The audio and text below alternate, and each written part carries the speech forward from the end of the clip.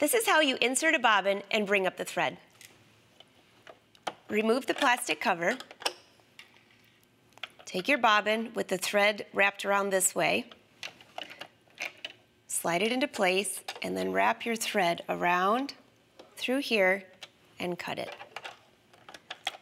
Replace the plastic cover.